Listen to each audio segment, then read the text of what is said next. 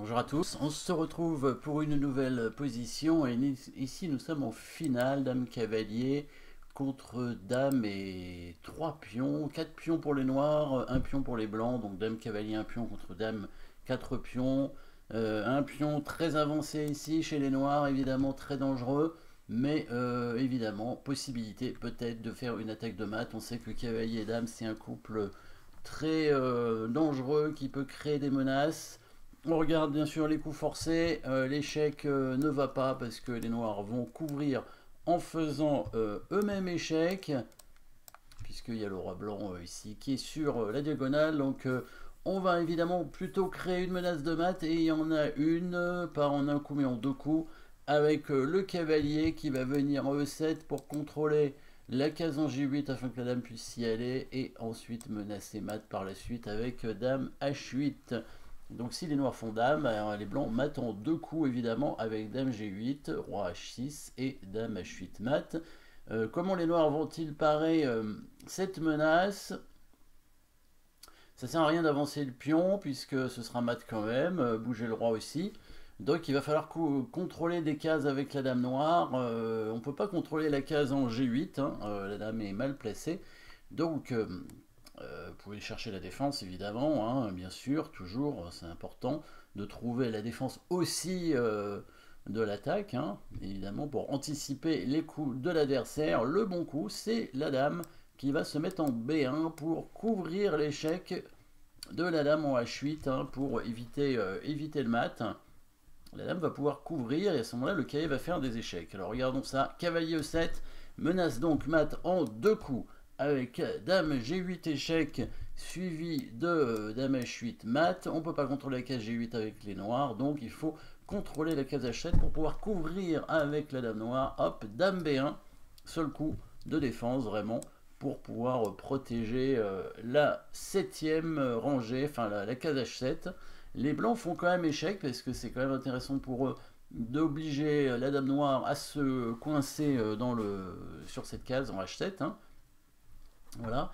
Et par la suite, les blancs vont continuer les échecs en commençant euh, bah, la, fameuse case Kasparov. Hein, on la retrouve ici en, finale, mais c'est évidemment euh, une très bonne case pour le cavalier, euh, toujours pour l'attaque quand il y a une dame sur l'échiquier. Petit échec ici, la dame, la case F5 bien sûr, la dame noire éclouée ne peut pas prendre bien sûr ce cavalier, donc seul coup, roi en G6, et là on va menacer mat avec les blancs, pas de, bon, refaire échec avec le cavalier, mais c'est euh, une répétition de position, donc ça sert à rien. Euh, la dame va se mettre en F8, voilà, menaçant mat maintenant en F7, un mat difficile à parer, hein. si les noirs font dame évidemment, ils sont mat, dame F7.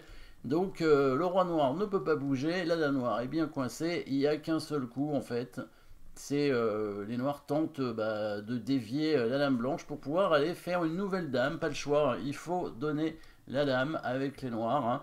il faut donner la dame et on peut pas la donner n'importe où, parce que si on la met en G8, il y a cavalier E7 qui va faire échec, donc il faut aller en H8 obligatoirement, hein. s'il vient là, on fait échec ici et le roi va devoir bouger sur une case qui permettra au blanc de prendre la dame en faisant échec. Donc le seul coup c'est dame H8, comme ça, euh, sur l'échec en E7, le roi va venir en H7 pour protéger la dame, donc ça c'est pas bon, donc les blancs sont un peu obligés de prendre la dame ici maintenant. Et là, les noirs vont pouvoir faire une nouvelle dame, pour tout ça pour éviter le mat. Hein. Euh, ils étaient un peu obligés de, faire ça. Alors, s'il prend le cavalier, évidemment, euh, la, dame blanche va revenir en prenant ce pion sur échec, hop, très rapidement bloquer, bloquer le pion, et ça va être gagnant très facilement. Donc euh, les noirs font dame. Alors maintenant, euh, bon, pas euh, beaucoup de matériel avec les blancs encore. Hein. Dame, cavalier, pion, il y a de quoi, y a de quoi peut-être gagner, mais on va plutôt gagner en créant toujours une attaque de mat et en cherchant bien sûr les coups forcés. Ici, en faisant des échecs, on va mater.